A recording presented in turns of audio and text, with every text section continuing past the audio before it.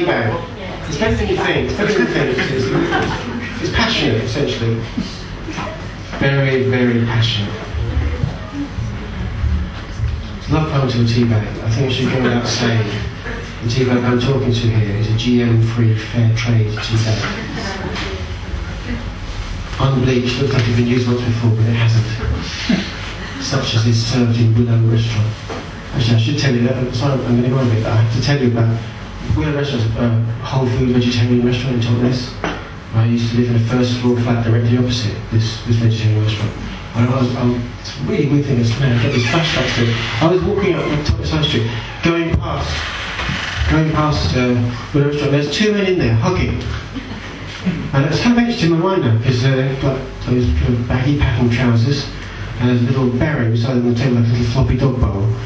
And uh, they had quite tight designer style on the face it, one of them ponytail, uh, and this hug. And I thought, oh, two men hugging, yeah. And I went to the post office, and about 10 minutes in, they came back the same way, and they're still there.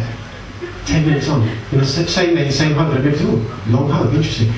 I went down to the bank, about 15 minutes down at 98 Spirit, Water Thomas Street, if you know it. Came back up the same way.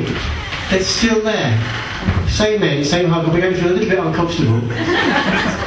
I thought, is this a sponsored hug for charity? is this fear of showing fear of intimacy? What's going on here? I thought, just leave it, just leave it. Went upstairs to my flat, potted about a bit, you know, did a bit of Tai Chi. A little bit of typing as well.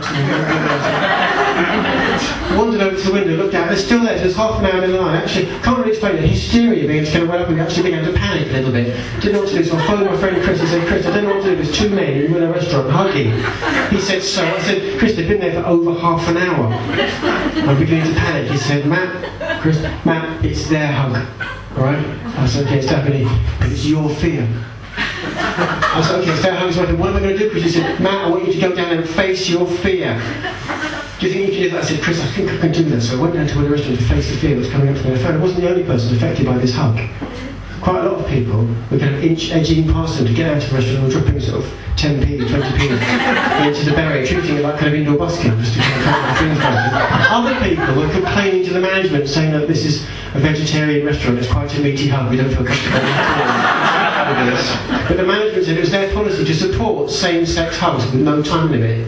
And if people had a problem with that, what were they doing in a vegetarian whole food restaurant in Totnes in the first place, which is a good point. But other people affected by the hug actually formed a self-help group in the back room. And they were sitting around in a circle sharing things that were coming up, and that's always the place for me.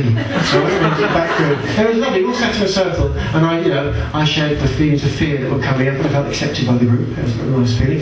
And uh, there's another man there saying was particularly difficult for him because his father had only ever shown affection to him when they were underwater. and he was having breathing difficulties. He was going, understandable. And I thought, okay, this is very valuable and instructive, but what about the huggers? Who's asking them how they feel? So I went through, I get my courage in and I approached the two men. The one facing me, his eyes closed. I went up to him and I said, excuse me, are you okay? And he opened his eyes and I could see in his eyes relief, exhaustion and gratitude. And I lip read rather than heard the word hell. and it turned it wasn't a sponsored hug for charity, it wasn't fear of showing fear of intimacy, but their hug was so snug, and the follicle spacing ratios and their faces were so exactly matched, they had become Velcro together. And could, we couldn't just we couldn't just rip them apart, because if we'd done that, one of them would have lost face. So, so what we had to do, we had to get one of those pipettes filled with olive oil, and we had to drizzle, drizzle it down between them, just to, soften that kind of tangled fuzz, and ever so gently, very gently praise them apart. It was very, very beautiful, very moving. All of us felt very open, you know, by then. And on the way home, that very moving experience, I actually had a vision of Aphrodite, the god of male bonding.